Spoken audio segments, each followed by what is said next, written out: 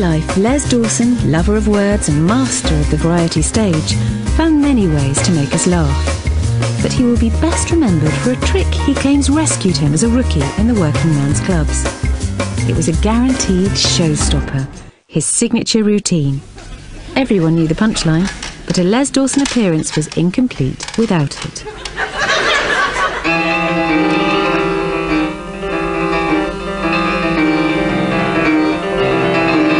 The audience demanded it in the end. I mean, if Les didn't play the piano, he, if, if I saw this happen on many, many occasions, um, uh, he'd be working front cloth, you know, and then the, the curtains would open and there would be the grand piano. Right? And the audience would just applaud at the piano because they knew what was coming. You know, the audience demanded that. Uh, I mean, you know, you wind the clock back to when Les first started doing that.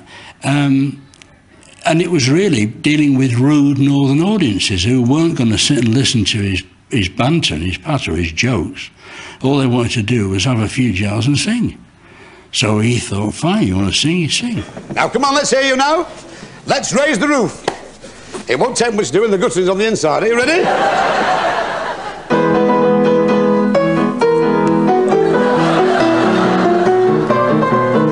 Made everything look effortless. He'd sat down and worked out, right, which are the right, wrong notes. It's quite easy to play the piano badly and not be funny, as any music teacher will tell you. But, um, but to play the piano badly and be always hilarious is, well, firstly, you need to know what you're doing, and secondly, you need to be funny and he was and just the the timing of the way he and the and the whole persona of the way he's sitting on that stool looking at the audience and on the kind of cheesy grin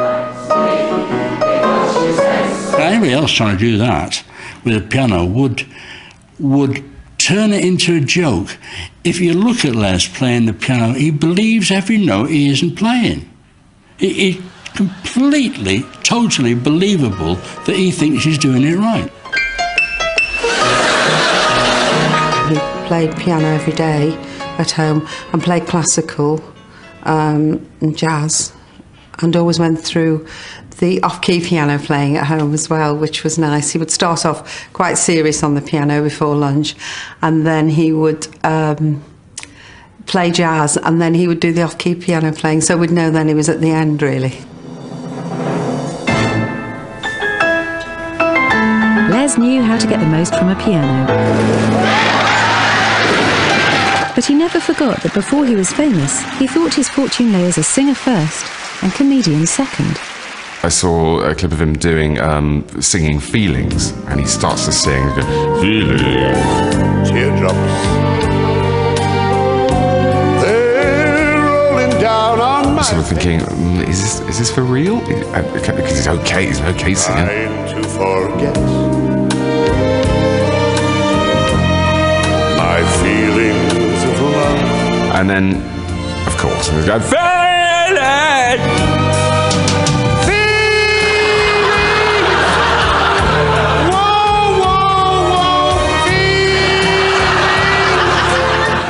You know it's coming, but it's all the more joyful because you know it's coming.